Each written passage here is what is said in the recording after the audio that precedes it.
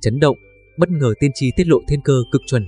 Thời điểm sắp tới, người tuổi Tân Dậu sinh năm 1981 được bề trên ban phúc, cầu được ước thấy, tài lộc phất lên như diều gặp gió, sự nghiệp hanh thông, tiền vàng chất đống, tạm biệt cuộc sống nghèo khổ, cái nghèo, đổi đời giàu sang phú quý, khiến người người ngưỡng mộ.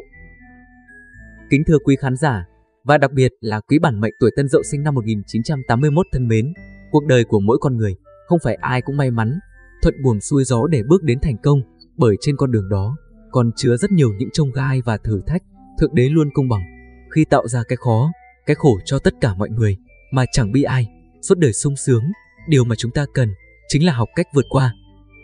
Mèo thích ăn cá, nhưng lại không biết bơi, cá thích ăn sung, nhưng lại không thể lên bờ. Ông trời luôn cho bạn rất nhiều điều hấp dẫn, nhưng lại không để bạn dễ dàng có được. Phải cất công trồng thì mới có được quả ngọt, trái thơm.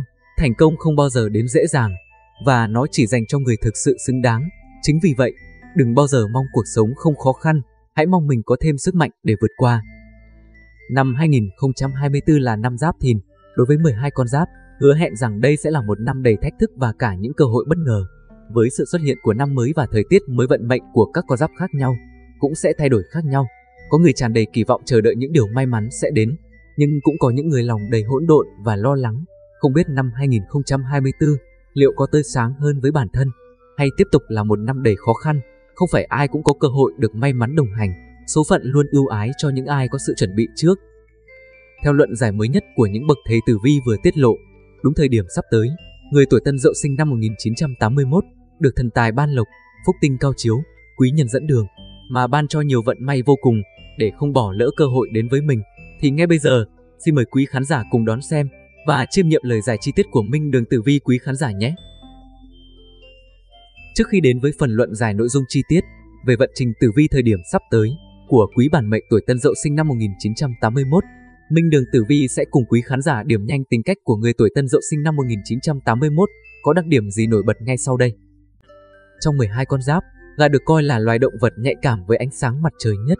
Vì vậy, người tuổi Tân Dậu cũng được trang bị sự thông minh, nhanh trí, niềm đam mê học hỏi và tinh thần cạnh tranh. Đồng thời, họ còn có trái tim ấm áp, sẵn sàng chống lại bất công và bảo vệ người thân yêu. Tuy nhiên, không ít Tân Dậu lại không thể duy trì điều này mà thường bị chi phối bởi tính cố chấp, bướng bỉnh và thiếu kiên nhẫn, dẫn đến việc bỏ lỡ nhiều cơ hội trong cả công việc và tình duyên. Một trong những điều đặc biệt làm nên thương hiệu của tuổi Tân Dậu đó là khả năng quan sát nhạy bén, giỏi nhìn thấu tâm can người khác. Bất kể đối mặt với tình huống nào, họ đều có khả năng tìm ra cách ứng phó một cách thông minh và hiệu quả. So với những tuổi khác, Tân Dậu có một loại năng lực tiên đoán mà hiếm khi ai có thể sánh bằng. Đúng hơn loại năng lực này là khả năng nhìn xa trông rộng, quan sát nhạy bén và nắm bắt tâm lý người khác một cách sâu sắc. Tầm nhìn này có thể giúp họ đạt được nhiều thành tựu lớn nếu biết khai thác một cách chính xác và trong thời gian thích hợp. Có lẽ chính vì điều này, họ thường mang một vẻ tự tin và tính kiêu hành. Tuy nhiên, dưới vẻ bề ngoài đó, họ luôn có khả năng giữ vững tâm thế bên trong, được thuận lợi, đạt được thành công. Sự khôn ngoan của Tân Dậu thể hiện ở chỗ họ thường sử dụng những phẩm chất tích cực khác để bù đắp cho những điểm yếu của mình. Mặc dù điều này đã trở thành đặc điểm nổi tiếng của Tân Dậu, nhưng không phải ai cũng sở hữu phẩm chất này. Về cơ bản, Tân Dậu mang hai kiểu tính, cách một là nóng nảy và thích thảo luận, còn một khía cạnh khác là sâu sắc và tinh tế trong việc nhạy bén, nắm bắt tâm trạng của đối phương. Tuy nhiên, điều này cũng đồng nghĩa với một khía cạnh tiêu cực của tính cách khi họ thường thích gây gổ với người khác. Tình trạng này thường xuất phát từ việc họ muốn thể hiện tri thức và kiến thức sâu rộng của mình mà không quan tâm đến cảm xúc của người đối diện. Người tuổi Tân Dậu có bản chất đầy nhiệt huyết trong cái cách họ tham gia vào cuộc sống xã hội. Họ tỏ ra năng động, sẵn sàng bàn luận về mọi vấn đề mọi lúc và thúc đẩy sự tranh luận, thậm chí còn khiến họ phấn khích hơn. Họ thường thẳng thắn bày tỏ quan điểm của mình, hy vọng rằng mọi người sẽ tôn trọng và ủng hộ quan điểm của họ. Nếu ai muốn khẩu chiến bằng lý lẽ với họ về một vấn đề, thường sẽ gặp khó khăn vì tân dậu thường dễ dàng rơi vào việc phê phán quá mức. Ngoài ra, tân dậu còn sở hữu trí tưởng tượng phong phú và óc sáng, tạo họ luôn nghĩ ra những sáng kiến hay, ý tưởng độc đáo nào đó. Tất cả những điều này giúp họ giải quyết thành công các vấn đề phức tạp.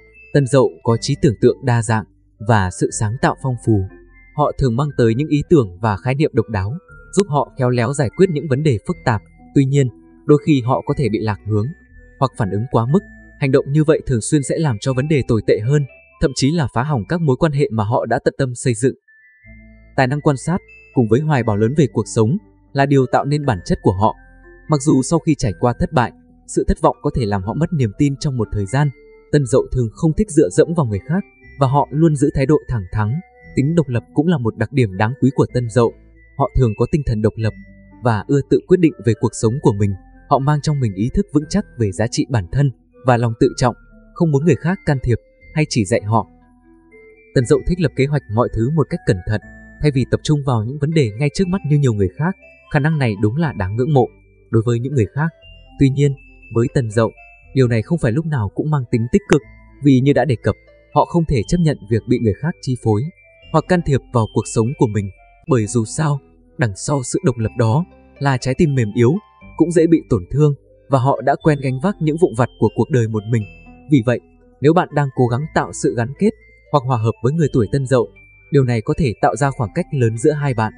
Tuy nhiên, may mắn là mối quan hệ của bạn với người tuổi tân dậu không phải lúc nào cũng bị cản trở bởi khoảng cách này, miễn là bạn có sự kiên nhẫn và tôn trọng đối tác của mình và sẵn sàng học hỏi từ họ, bạn sẽ chiếm được sự tin tưởng của người tuổi tân dậu thành công.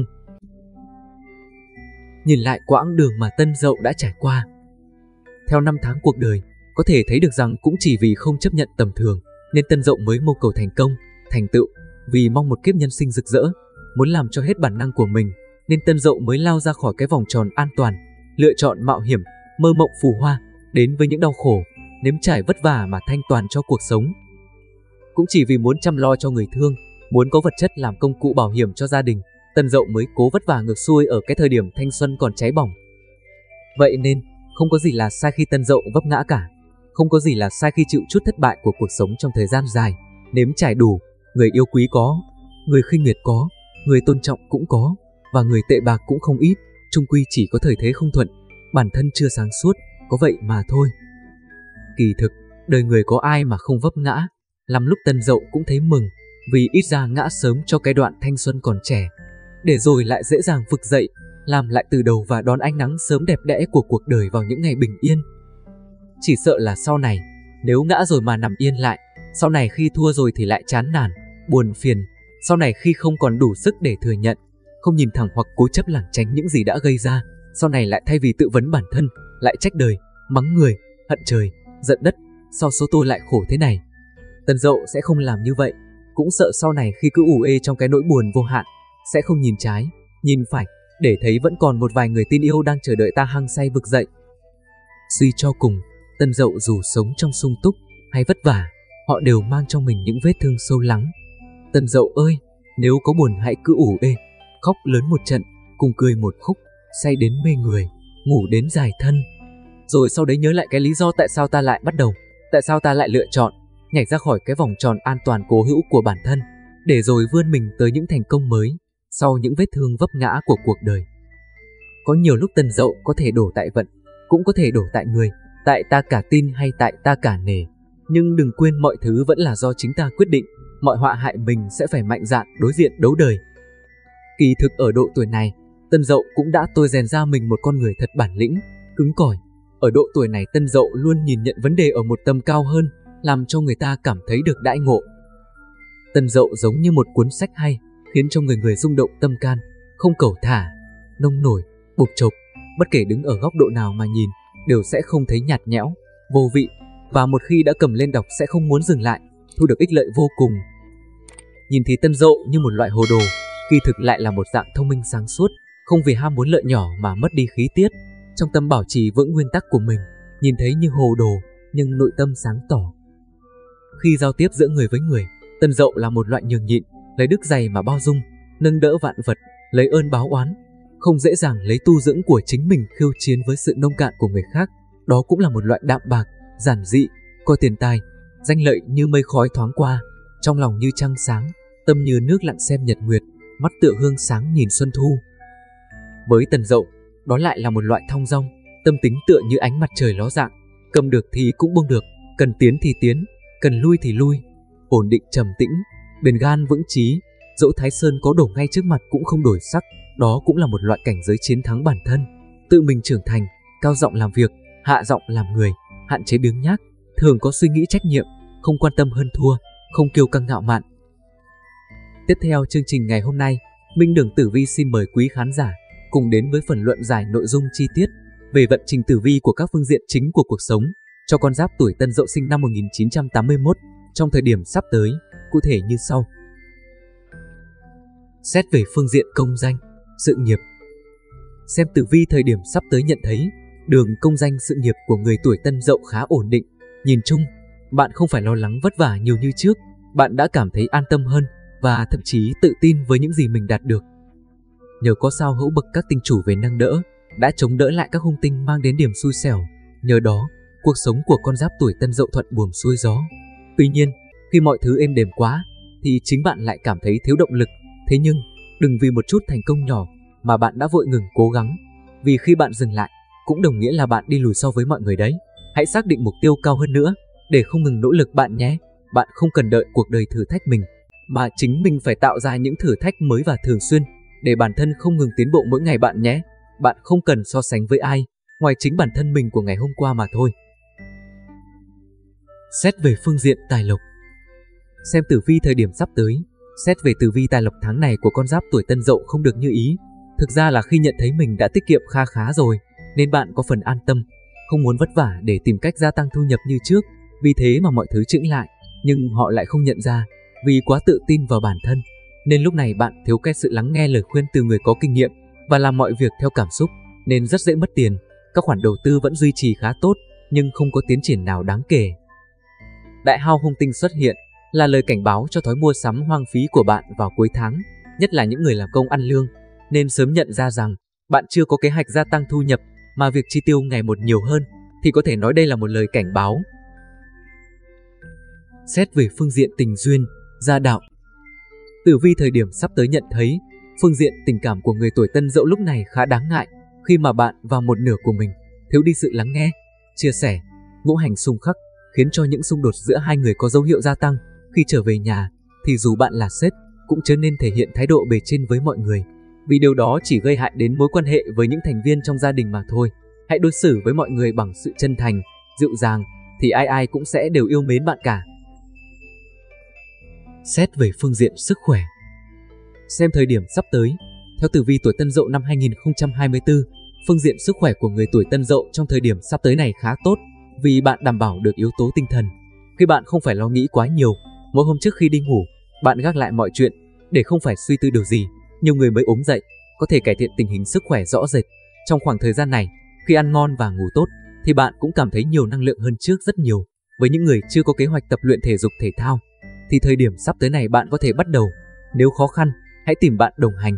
Cơ hội bạn thực hiện mục tiêu để cải thiện sức khỏe rất dễ đạt được trong thời điểm sắp tới này. Và ngay bây giờ, không để cho quý khán giả phải chờ đợi thêm nữa, thì mời quý khán giả cùng Minh Đường Tử Vi đi vào luận giải nội dung chi tiết. Vận trình tử vi theo từng tháng sinh âm lịch may mắn của người tuổi Tân Dậu 1981, cụ thể như sau. Vận mệnh của người tuổi Tân Dậu 1981, sinh tháng 1 âm lịch. Tháng 1 âm lịch tức tháng riêng, là Tết lập xuân, vạn vật tươi sinh, đất trời tươi mới. Cũng nhờ thế mà người tuổi Tân Dậu sinh tháng này tinh thần sảng khoái, biết tiến biết lùi, lại ưa tự do, tuổi thọ khá cao.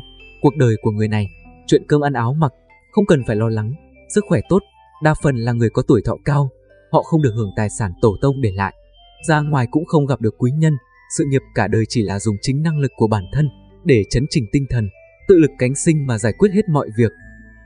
Tiền vẫn có phần vất vả, nhưng hậu vận của người này hứa hẹn tương lai tốt đẹp, họ sống hòa thuận, hạnh phúc cùng cha mẹ, anh em, vợ chồng, con cái, mọi người yêu thương, quan tâm và chăm sóc cho nhau. Vận mệnh của người tuổi Tân Dậu 1981, sinh tháng 2 âm lịch.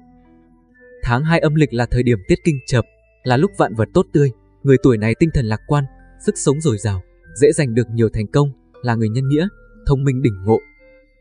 Xem vận mệnh của người này thấy rằng họ là những người có lòng tự trọng cao, có trí tuệ hơn người, học rộng biết nhiều, họ rất ham học, chỉ là người tài nhưng không gặp thời, không được hưởng phúc lộc tổ tiên, cha mẹ cũng không giúp đỡ được nhiều, họ khó giành được địa vị cao trong xã hội, học giỏi nhưng điểm lỗi học tài thi phận, chỉ tới khi về già mới dùng được kiến thức của mình, họ khá cô độc, tự xưng thanh cao, không thích ở cùng những người tầm thường, tuy nhiên, họ đi theo con đường kinh doanh sẽ có lợi hơn là đường công danh. Vận mệnh của người tuổi Tân Dậu 1981, sinh tháng 3 âm lịch. Tháng 3 âm lịch rơi vào tiết thanh minh, người tuổi này thông minh vốn sẵn ý trời, linh hoạt và giỏi gian, tùy cơ ứng biến, trời ban phúc lộc, cả đời vinh hoa. Người tuổi này giỏi thích nghi với hoàn cảnh, có thể đạt được địa vị cao trong xã hội, họ gặp được nhiều may mắn, được quý nhân phù trợ, lại có thực tài, nên dễ thăng tiến trên con đường quang lộ. Họ được lục thân nâng đỡ, lại có bạn bè luôn ở bên, sự nghiệp cực kỳ thuận lợi, tài lộc dồi dào, vinh danh tiên tổ. Vận mệnh của người tuổi Tân Dậu 1981, sinh tháng tư âm lịch. Tháng tư âm là tiết lập hạ, xem tử vi chọn đời, người tuổi này có ý chí hơn người, có tài văn chương nghệ thuật, tính tình đa sầu, đa cảm, khá cao ngạo, cuộc đời gặp nhiều trắc trở, người này khó có thể làm nên đại nghiệp, mặc dù có khả năng tổ chức tốt và có nhiều tham vọng, có thể do tính cách cứng nhắc, tự kiêu, không xem ai ra gì, nên họ khó giành được cảm tình của mọi người. Tổ nghiệp tuy có nhưng không quá lớn, sự nghiệp đều do mình tự tay gây dựng, tài hoa hơn người, nên họ có đủ năng lực để làm việc đó. Ta lộc kém sắc, người này lại ưa mạo hiểm, nên hậu vận hung các khó lường. Vận mệnh của người tuổi Tân Dậu 1981, sinh tháng năm âm lịch. Tháng năm âm là Tết mang trùng, người tuổi này sự nghiệp dễ thành, vinh hoa phú quý, tuy cũng có lúc thất bại, có khả năng hậu vận gặp khó khăn, nhưng cơ bản công danh của người này không tồi, tài năng được trọng dụng, vận trình của họ thăng trầm bất định, khi xa cơ lỡ vận, có thể vì thế mà gặp chuyện quan tụng, được lục thân giúp đỡ, có gia đình hỗ trợ, tiền vận sự nghiệp thành công, nhưng không lâu sau đó dễ bị thất bại, may nửa đời sau có bạn bè, quý nhân giúp đỡ, sự nghiệp dần ổn định, song không có phát triển gì quá lớn, cuộc sống sung túc, đủ đầy, tuy nhiên vận trình không được tốt lắm. Vận mệnh của người tuổi Tân Dậu 1981, sinh tháng 6 âm lịch. Tháng 6 âm lịch là tiết tiểu thử, tiết trời nắng nóng, người tuổi này vì thế cuộc đời bôn ba, vất vả, khó có được ngày an hưởng vinh hoa phú quý. Người tuổi này khó tìm được sự trợ giúp từ gia đình, ra ngoài xã hội cũng không được bạn bè hay quý nhân giúp đỡ, sự nghiệp khó khăn trăm bề, gian nan đủ điều mới có thể phát triển ổn định. Cuộc đời họ gặp phải nhiều biến cố. Điều này khiến họ giành được khả năng thích nghi tốt, tự vượt lên hoàn cảnh, có nghị lực phi thường, làm nên nghiệp lớn. Vận mệnh của người tuổi Tân Dậu 1981, sinh tháng 7 âm lịch. Tháng 7 âm lịch là Tết Lập Thu, trời khô hanh, song cuộc đời của người tuổi này lại vô cùng suôn sẻ, thuận lợi, hạnh phúc, an nhàn suốt cả cuộc đời, tổ nghiệp phúc dày, cha mẹ, anh em giúp sức, vợ chồng hòa thuận, giúp cho tuổi tân dậu thoải mái theo đuổi ước mơ của mình. Người này không cần phải lao động quá mức vất vả, mà vẫn có được cuộc sống đủ đầy, không phải lo lắng chuyện gì. Người này có tham vọng lớn về sự nghiệp, được quý nhân trợ giúp, người thân trợ lực, việc gì cũng trôi chảy, thuận lợi, có thể làm nên sự nghiệp hiền hách. Vận mệnh của người tuổi Tân Dậu 1981, sinh tháng 8 âm lịch. Tháng 8 âm lịch là Tết Bạch Lộ, người này thông minh, lanh lợi, sống có lý tưởng, có ý chí, cuộc đời sau này vinh hoa phú quý, được nhiều người ngưỡng vọng. Tháng 8 âm lịch mang tới cho người tuổi Tân Dậu nhiều tin vui khi mà không phải lo lắng về vấn đề tài chính, quyền lực, địa vị đều có, được nhiều người ngưỡng vọng, tuy tổ nghiệp ít ỏi, không được hưởng di sản hay được người thân giúp đỡ, nhưng người này dựa vào chính sức mình mà làm nên, là người chăm chỉ, cần cùng học hỏi, từ nhỏ đã có chi lớn, ham học, con người lại không ngại khó, ngại khổ. Trên con đường sự nghiệp, có quý nhân nâng bước, gặp dữ cũng hóa lành, sự nghiệp hanh thông, nhanh chóng phát triển, nhất là theo con đường làm ăn kinh doanh, thì càng thuận lợi. Vận mệnh của người tuổi Tân Dậu 1981, sinh tháng 9 âm lịch. Tháng 9 âm lịch, tức là Tết Bạch Lộ, cuộc sống sung túc, tự do, thoải mái, không chịu bó buộc, tài vận hanh thông, tình duyên vượng sắc. Người này tuy không được nhiều gia sản cha ông để lại, nhưng ra ngoài xã hội có quý nhân nâng đỡ, nên cả đời không gặp phải sóng gió gì lớn. Có thể phiêu diêu tự tại, người này tính tình cương nghị, cứng rắn, có phần nóng nảy, thích lấy mình làm trung tâm, nên khá độc đoán. Có thể cũng chính vì thế mà đường tài lộc cực kỳ lý tưởng, không bị khó khăn nào cản trở. Vận mệnh của người tuổi Tân Dậu 1981, sinh tháng 10 âm lịch. Tháng 10 âm lịch là Tết Lập Đông, người tuổi này có thể bình thản sống hết đời, không cần lý tưởng, cũng chẳng cần ý chí phấn đấu gì nhiều. Họ không thích chuyện học hành, mọi chuyện trên đời, mặc kệ bèo giặt mây trôi, trời cho sao thì biết vậy. Sự nghiệp chẳng được anh em giúp sức, phải chờ đến tuổi trung niên mới được ăn nhàn sống cuộc sống mình muốn. Họ không có sự nghiệp lớn lao, cũng không có tiền bạc dồi dào, chỉ cần đủ cơm ăn, áo mặc là tốt, sức khỏe không có vấn đề, ít bị đau bệnh. Vận mệnh của người tuổi Tân Dậu 1981, sinh tháng 11 âm lịch. Tháng 11 âm là Tết Đại Tuyết, người này có tài, có sức, thông minh, nhanh nhẹn, có chí hướng phấn đấu, song hiểm nổi tổ nghiệp phúc mỏng. Lục thân không nơi cậy nhờ, sự nghiệp cũng vắng bóng quý nhân, chỉ dựa vào chính sức mình để lập nghiệp, nên có lúc cảm thấy cô đơn, mệt mỏi, muốn buông xuôi, sẽ gặp tranh chấp về tài sản hay gặp chuyện xấu, dẫn tới phá tài, sự nghiệp nhiều trở ngại, dễ lâm vào cảnh tiến thoái lưỡng nan. Vận mệnh của người tuổi Tân Dậu 1981, sinh tháng 12 âm lịch. Tháng 12 âm lịch là Tết Tiểu Hàn, người tuổi này cả đời vất vả bôn ba vì mưu cầu danh lợi, tuy rằng cuối cùng cũng được thỏa nguyện, sống giàu sang, sung túc, song chưa chắc đã được hưởng thụ những gì xứng đáng thuộc về mình. Người này cơ trí thông minh, tài hoa hơn người, nhưng không dựa được vào gia đình, anh em cũng khó khăn, mọi chuyện phải dựa vào chính mình, nên khởi nghiệp gặp nhiều khó khăn, trở ngại, tính tình thẳng thắn, cương trực, có tinh thần nghĩa hiệp, nên được nhiều người quý mến, trung niên đến vẫn có khả năng gặp tai họa, tuổi già phúc lộc đủ đầy. Quý vị thân mến, Phật dạy, phúc và đức của một người luôn đi liền với nhau. Muốn được hưởng phúc dài lâu thì phải thủ đức, tích đức. Đức được coi là cái gốc muôn hạnh, cũng là nền tảng để con người lập thân, lập nghiệp. Đức được hiểu là đức hạnh tốt, phần tốt đẹp, sự thẳng thắn của con người. Phật có dạy rằng, cứu một người là phúc đẳng hà sa, cứu một người thì phúc đức sẽ tới nhiều như cá sông, riêng mình vừa tới tuổi chi thiên mệnh thì vô phúc mắc trọng bệnh. Trong cuộc sống, đức biểu hiện trong nhiều khía cạnh, ở cách con người cư xử với nhau, với công việc, với xã hội, phàm là những gì được coi là việc thiện, trao đi với mục đích tốt đẹp đều là tích đức. Mặc dù chữ đức ở trong Phật giáo có vô lượng nghĩa, nhưng đều được thiết lập ở trên một nền tảng cơ bản là hoàn thiện nhân cách đạo đức ở mỗi con người. Vì thế, để tu nhân tích đức cho mình trong hiện tại và cho mai sau hay cho con cháu về sau, theo Phật giáo có nhiều phương thức, nhưng khái quát nhất và dễ thực hành nhất chính là tuân thủ năm nguyên tắc đạo đức của Phật tử, không giết hại, không trộm cướp, không tả hạnh và không nói dối, không dùng những chất gây nghiện và say xưa. Đồng thời học tập ứng dụng triệt để bài kệ, không làm các điều ác, chuyên làm các việc lành, giữ tâm ý thanh tịnh, đó chính là lời Phật dạy trong đời sống hàng ngày. Và dưới đây là những thói quen để hưởng phúc báo dài, ai có một cái cũng đã viên mãn. 1.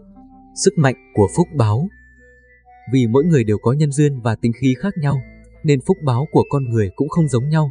Có người có tiền bạc, nhà cửa, có người nổi tiếng, có người thì xinh đẹp, có người lại tu hành thành công, đó chính là do con người gieo trồng ở kiếp trước, bởi vì nhân duyên, thói quen, nên có những phúc báo khác nhau. Nếu một người làm nhiều việc thiện, họ sẽ giống như một cây ăn quả, hạt giống sẽ lớn dần lên và kết quả là phúc báo sẽ vô tận. 2. Bắt đầu bằng suy nghĩ tử tế. Mỗi người cần học cách vun trồng phúc báo cho chính mình. Hãy bắt đầu từ một thiện niệm, dù nhỏ nhưng cũng sẽ trổ hoa tốt đẹp trong tương lai. Người ta thường than thở số phận không may mắn, làm gì cũng gặp khó khăn, nhưng thực ra là do phúc báo chưa đủ. Muốn cải biến vận mệnh của mình thì bạn nên thay đổi tâm thái của bản thân, thay đổi thái độ không muốn trả tiền, sợ mất mát, ích kỷ và thờ ơ, thích phàn nàn, tham lam và các vấn đề khác thì mới có một cuộc sống tốt đẹp và may mắn. 3. Phàn nàn sẽ mang lại bất hạnh. Có một kiểu người suốt ngày cứ phàn nàn, họ cứ chán nản cuộc sống của mình, dường như chẳng có gì khiến họ hài lòng cả. Họ thích nhìn cái sai của người khác mà không nhìn lại bản thân mình. Kiểu người này sống trong oán hận và suốt ngày cảm thấy cực kỳ đau khổ. Loại hành vi tâm lý này sẽ khiến khuôn mặt của họ về sau ngày càng trở nên xấu xa và khó nhìn. Đây chính là ý nghĩa của câu nói, tướng tùy tâm sinh, muốn có phúc báo thì hãy ngừng phàn nàn, trách móc, hãy sống bao dung nhiều hơn. 4.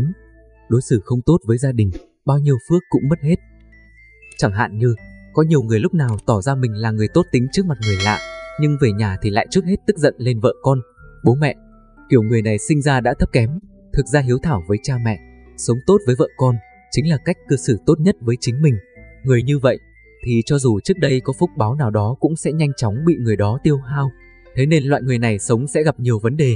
Hãy thay đổi bằng việc hiếu thảo với cha mẹ, đối xử tốt với vợ con. 5.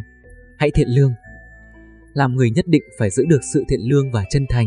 Khi bạn tặng cho người khác hơi ấm, người khác sẽ tặng lại ánh sáng cho bạn. Khi bạn trao cho người khác sự chân tình, thì người khác sẽ trao lại cho bạn thái độ ôn hòa nhã nhặn. 6. Tươi cười nhiều hơn. Nụ cười cũng chính là điều hấp dẫn người khác nhất.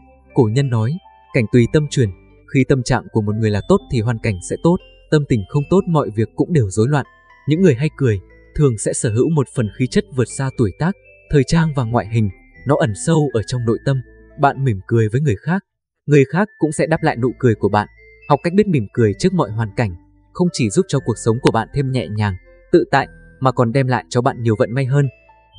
7. Biết cảm thông Lão Tử có câu, chi nhân giải trí, người thấu hiểu người khác là bậc trí huệ, có thể thấu hiểu chỗ khó của người khác và đưa tay ra đúng lúc là người đại trí, đại huệ. Người có thể thấu hiểu cũng sẽ biết cảm thông người khác, mỗi người đều có những niềm vui, nỗi khổ của riêng mình mà không phải người ngoài đều hiểu rõ.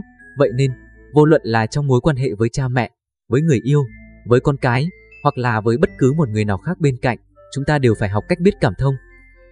Nền tảng của mối quan hệ giữa người với người là sự đúng mực, nếu không có sự đúng mực thì sẽ không có sự tôn trọng, sẽ dẫn đến xung đột mâu thuẫn xảy ra giữa hai bên. Sự đúng mực thể hiện ở việc có thể đứng ở góc độ của đối phương mà nghĩ cho họ nhiều nhất có thể, có thể hoán đổi vị trí cho nhau, là cách cảm thông lớn nhất. Khi chúng ta thật sự mở rộng tấm lòng, biết nghĩ cho đối phương thì mới có được sự gắn bó bền chắc lâu dài, mới có thể có được vận khí tốt.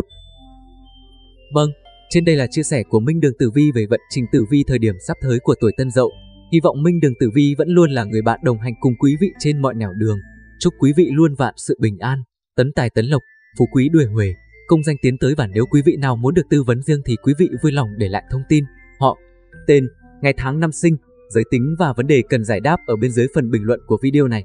Ban biên tập chương trình sẽ tư vấn cho quý vị và các bạn trong thời gian sớm nhất. Quý vị và các bạn cũng nhớ hãy đăng ký kênh để ủng hộ cho ban biên tập chương trình, rồi sau đó nhấn vào biểu tượng quả chuông để liên tục được cập nhật những thông tin bổ ích mỗi ngày quý vị nhé.